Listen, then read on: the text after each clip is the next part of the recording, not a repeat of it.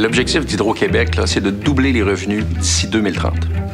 Throughout the world, the energy sector is changing, creating huge opportunities. There's a concrete need to find greener solutions, which forces us to innovate in order to stand out. On collabore, on avance, faut que ça bouge là. Ça fait partie de la culture de l'organisation d'amener Hydro-Québec toujours à un plus haut niveau, alors qu'on veut continuer dans cette direction-là.